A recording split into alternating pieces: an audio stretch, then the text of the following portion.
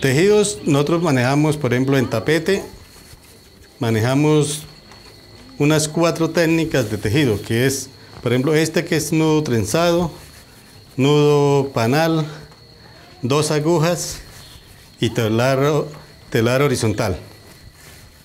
Y más, más de eso, lo que es todo lo que es ya crochet, que es ya en bolso, mochila, individual, todo, todo eso ya también ya se produce, que son diferentes, en eso también son diferentes tejidos. Este tapete nos estamos demorando un promedio de, de ocho días entre dos, porque esto, esto prácticamente decía, como esto es manual, esto no rinde. Y, y, eso que ya uno pues le tiene práctica, pues ya uno pues le rinde más, pero cuando no le tiene uno práctica al oficio, gastaría unos 15 días por lo menos. Este es un, un producto terminado, un bolso que va para los Estados Unidos.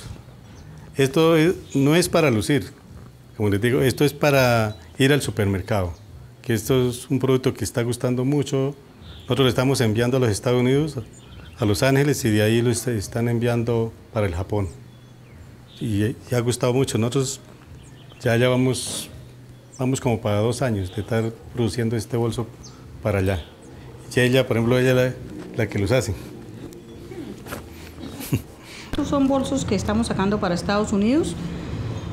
Una señora que vende virtual, ¿no?